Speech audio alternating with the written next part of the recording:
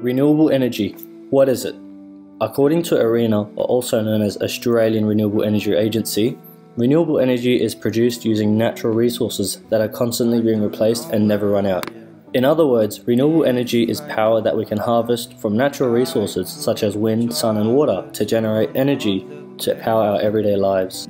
This documentary will educate you in renewable energy as well as the targets we should be reaching.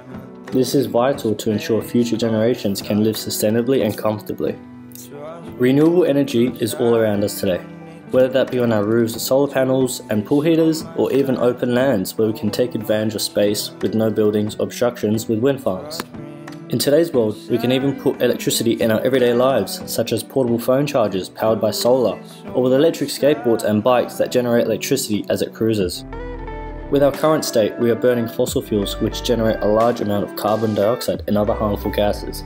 These are a major contributor to negatively impacting our environment, such as global warming, climate change, and even pollution in our air, reducing the quality.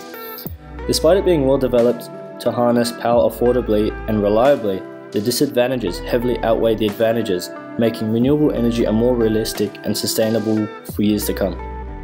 As we can see in this graph are two lines. This graph is called Hubbert's peak theory or Hubbert's curve, where fossil fuel production curve would follow a bell-shaped curve illustrated by the blue line.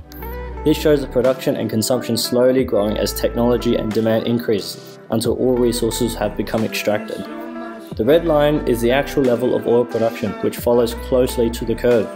As you can see the dip towards the right side, which was during 2008, is when the GFC occurred, slowing majority of world trade.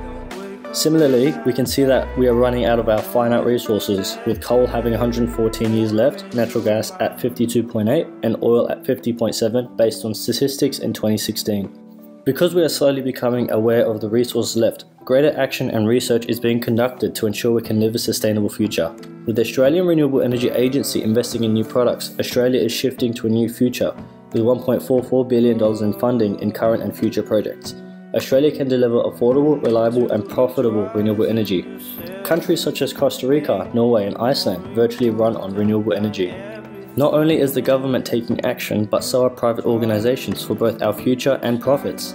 There is an app called Array, which allows your investments to go into building solar farms, which can be broken up into two sectors investments and super funds. This is an extremely smart way for people, especially younger generations, to better understand the positive impacts of renewable energy as well as being rewarded not only through long term investment, but peace in mind that they are investing into something that is sustainable and has a future, even 50 years down the track. Overall, the transition from using coal and fossil fuels to generate power to renewable energy looks reasonable. We are able to further invest time, money, research, and knowledge into renewable energy, allowing us to slowly transition to virtually 100% renewable and leaving fossil fuels behind. Once the price of renewable energy has closely matched the price of fossil fuels from an investment point of view, business, governments, and private sectors will be more inclined to transition than we currently are.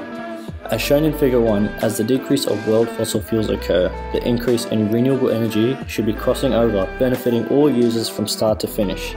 I would like to recommend everyone investing in renewable energy, such as investments like Array, or if you are a homeowner, consider purchasing a solar kit not only to save money in the long run, but save the environment one house at a time.